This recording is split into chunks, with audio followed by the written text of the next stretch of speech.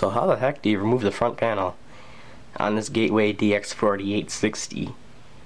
I had a comment in my review video asking how to do just that and I'm going to show you how to do that today.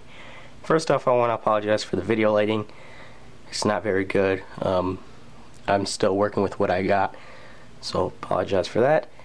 And I also apologize for the time of this video being created and uploaded. It's supposed to be done a while ago but I have projects that I'm rendering on this computer that as you can see I have to unplug the computer and um, so I had to put those projects on hold for this video. So I'm going to show you how to take off that front panel.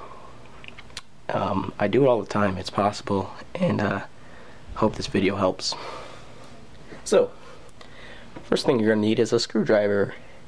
This is a flathead screwdriver but um, I actually recommend getting like a, a Phillips head or something like that. It's just a little bit better torque on the screws.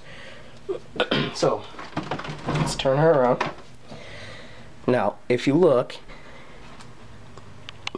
there are screws here, but if you look on the left side, they're riveted in, so you can't take that panel off. But, no need to worry, because all you gotta do is take this panel off here. So let's do that. Okay slide her off. So with that left panel being riveted it's not removable unless you got a, a drill a power drill. You need a power drill to take these out. And then again you'd have to uh, re-rivet it. It's not removable so I wouldn't attempt it. So we have the left panel off, exposing the insides. So now if you guys remember the review, this is all the same, I haven't changed anything. What you have to do is start off by taking off your CPU fan. So we'll unplug the uh, the little plug that goes to the motherboard. Okay. And now we're going to take the CPU's heatsink off along with the fan.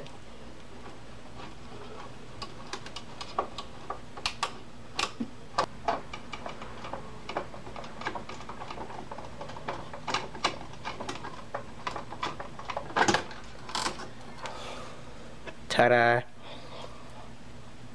Okay, that's off. Now we're going to do the video card, which is right here. This is our video card. This is not included with the machine. And the power supply is also not included with the machine. This These are both upgraded parts here.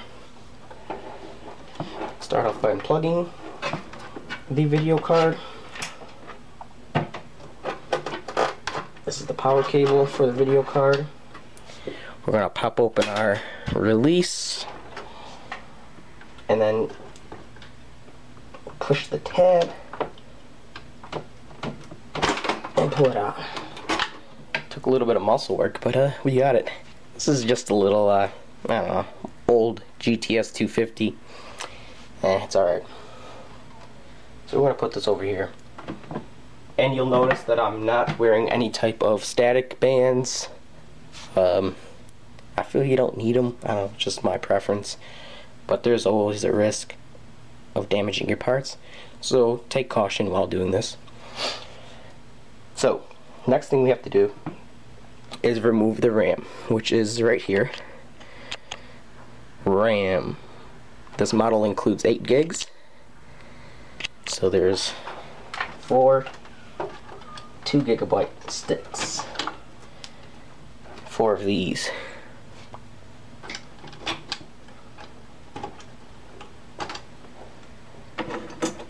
Alright, so we have our RAM out. Now, what we have to do is, there's a nice little uh, cable management system right here. We're going to actually unclip this. Let me bring in a little bit closer so you guys can see that. It's right here. It's this little plastic uh, piece right here. What we're going to do is just flip that open.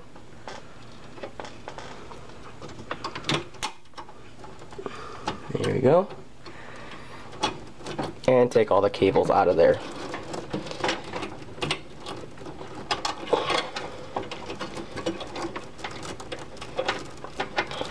Okay. All the cables are out. Okay, so now what we have to do is unplug our hard drive. This comes with a one terabyte hard drive. And we're going to unscrew with this here, with this screw right here. We're going to unscrew this and take the hard drive bay right out.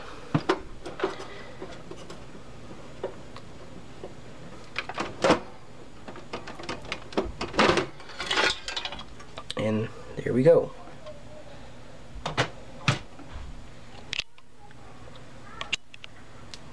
So as far as removing things, that's it. Now here comes the tricky part. You'll notice in here, and I have a flashlight here just for extra lighting, you'll notice that there are tabs. They're pretty visible on the left side here. I'll show you those now.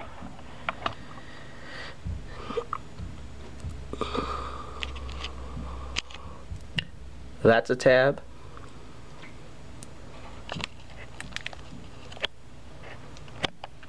That's a tab.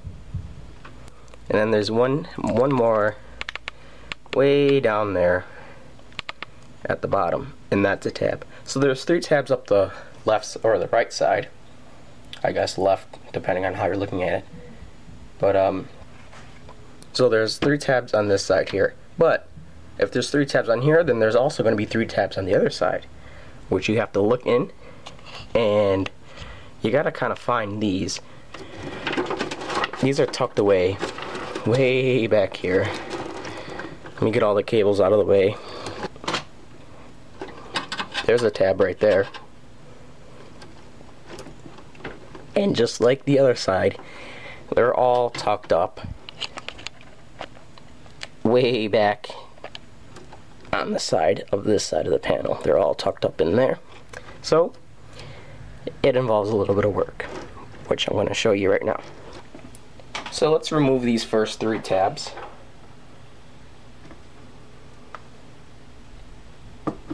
Just push them. You gotta kind of just push them away from you and they will sort of release the panel So if you saw that, the panel is now it's now loose on this side. But now we have to go in and get the other side. So like I said, those tabs are tucked away inside and you really have to look for those. There's one down there I'm going to push right there. I'm just going to push that in and it, these take a little bit of work. Now through the toughness of this, it looks like um, Gateway don't doesn't want you to take this panel off because the fact that they make that side panel non-removable is enough to tell you that they don't want you removing this. So I'm just gonna give this a. This is more of a pull. So last time what we did was we pushed away. But now on this side over here, you're gonna grab it and if you can see the motion of my finger, pull it toward you and it will pop out.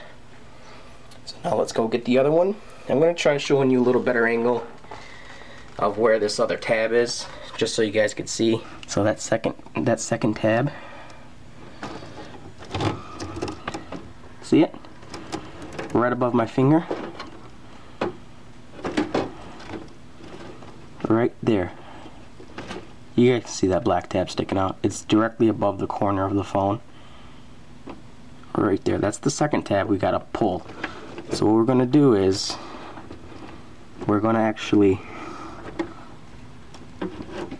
pull it out like this.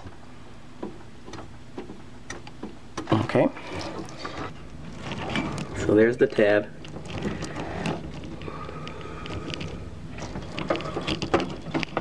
Now check this out. Hope you guys saw that. Um, it was a pull motion and I kind of just pushed it out. So that's the second tab there.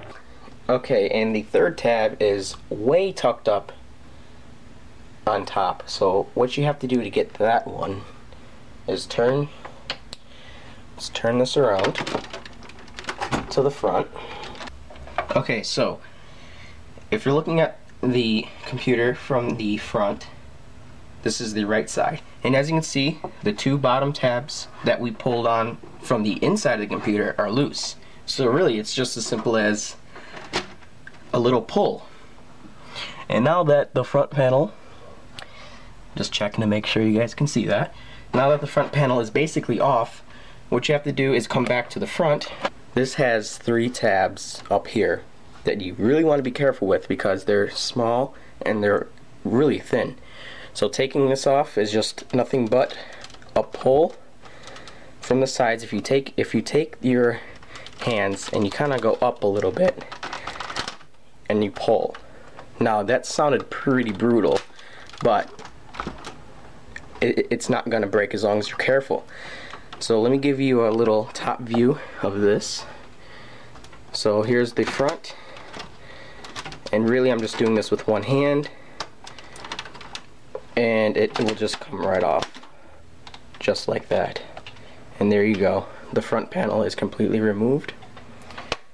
The tabs are still intact. Make sure that you don't break any tabs because um, you won't be able to uh, get a nice flush you know seam if you put it back on it'll just kind of be flopping around a little bit so uh, there you go guys that was taking off the front panel I hope this in instructional video helped you out.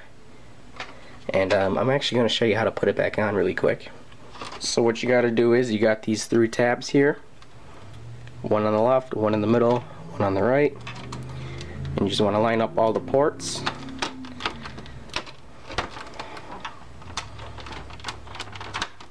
Make sure these tabs get underneath. Make sure these tabs here get up underneath this so they can clip in properly. Let's see if I can do this with one hand.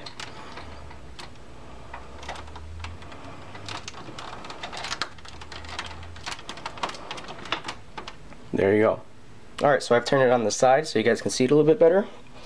And what you're going to do is you're going to want to take your screwdriver because getting these tabs back in um, and this is the side with the sticker if you're looking at it straight on it's the right hand side and it's these three tabs that you had to kind of mess with from inside the computer so what you want to do to get these tabs back in is get uh, your screwdriver and I recommend a flathead for this you gotta kind of push on the tab. Let's get a closer view of that. You actually have to push on the tab, push straight in, and then push down with your hand, like push in with your hand, because the tab has like a little locking mechanism in it, and uh, it takes a little bit of work to actually get it in, so you gotta, I'll show you one more time. You gotta push it in, push it straight in, and then you'll see the, the panel kind of go in a little bit there. Then you just gotta do the same thing for this side. For the, the second tab just give a little bit of a push. And then the last tab on the bottom just a little bit of a push. And it'll click in place alright so as far as the uh, other side goes it's actually pretty simple you're just gonna line up the tabs this one will uh, be pushed out a little bit, so just kind of line it up in the hole. And it's just as simple as pushing it all back in. And there you go, guys. The front panel is reinstalled. Hope this guys helped you.